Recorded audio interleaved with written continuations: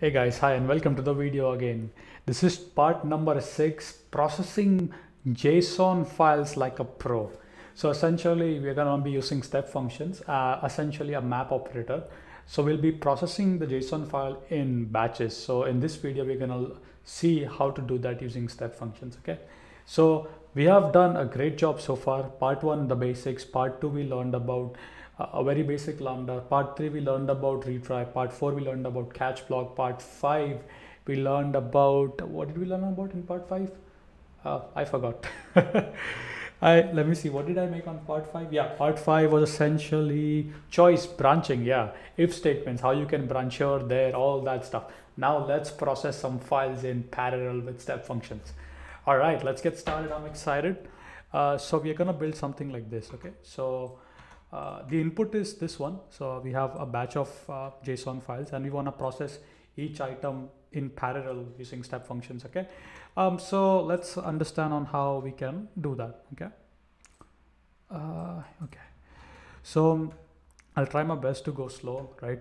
So the first thing that we have is something called comment that essentially describes the state machine. Start at for loop. So this is where I'm gonna start my state machine. I'm just giving it a fancy name, right? And then here I'm defining my states. So this is my states called for loop, right? The one that I have. Uh, now here I'm using the type as map operator. Okay, I'm saying it's a map object. Now I'm gonna say input path is equal to dollar dot detail, which means dollar means the JSON and then details mean this, right? So that's what we are passing dollar dot details. In item path will be dollar dot shipped. This is my item path, right? This all items, right? So dollar dot shipped, right? Max concurrency to how many ever lambdas you want to use in, in parallel, right? Now here is where you say iterator. So for each item, that is your each item, we define a start, uh, we define a state. So the first state would be process JSON file. You can break this into multiple state as well, okay? So now here I'm saying state process JSON file type as task and here is my lambda function that's gonna do the job okay so remember you could have more states right? And each state could have try and catch block. You could do all these fancy things uh, all right? So that's that. Now i'm collapsing that. And uh, what i'm doing is at the end i'm saying dollar dot detail dot shipped which means a result path. That means uh, in the result combine all the res results. So we'll read try to read this. dollar dot detail dot shipped dollar is the entire dot detail dot shipped. So for each item, aggregate the result and then output it to the step function. Now my lambda function here is very easy. As you can see, uh, expects a JSON. I'm adding a timestamp here to show you that I'm processing it. Okay. So coming back to the lab number six, copying all these stuff.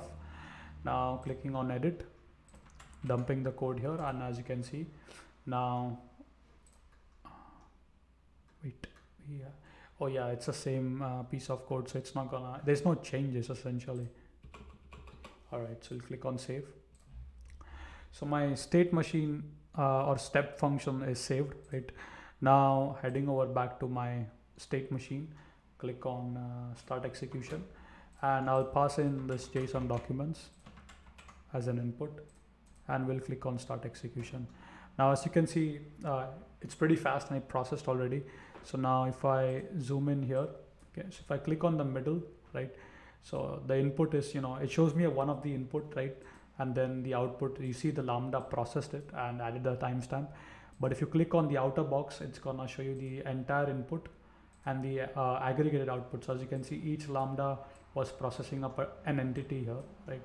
Uh, and it worked amazingly, right? Now, uh, stepping the game a little bit up, right? Uh, just a little bit. So if you can uh, remember lab number four was where we added the retry. So we could copy the retry block. And now we want to make sure that when processing file, right, we want to make sure if anything fails, we want to retry. So now I can come here and add a retry logic, which means uh, if there's a custom error, I don't have a custom error, so I'll remove that. Any task failed or any states failed, a retry uh, after a particular back off time and do it for two times. So I could define that. I could define also a catch block. So now you can see you can also do much, much complicated branching logic out of that, right? So I'm trying to show you the possibility on what you can do. So as you can see, right, the power that step function offers, right, batch processing of JSON files. You can dump this file to the data lake, right, uh, whatever you are doing, you know, application, but this is the true power of step function. You can use the map operator, uh, read the data from some database for each item, then fire up a Lambda process in parallel, and there you go. Serverless solutions, guys, right? So I'll leave the source code there as well. This is there on my GitHub section. So if you want to check that out, it's going to be lab number six. Okay. All the previous tutorials are also there with the appropriate link. So do check that out as well. Okay. All I request guys, all I request you is a simple thing. A simple like and a share would be really, really amazing because making this tutorial takes a lot of time. Preparing these labs, recording, pre-processing takes a huge amount of time. A simple like would make my day.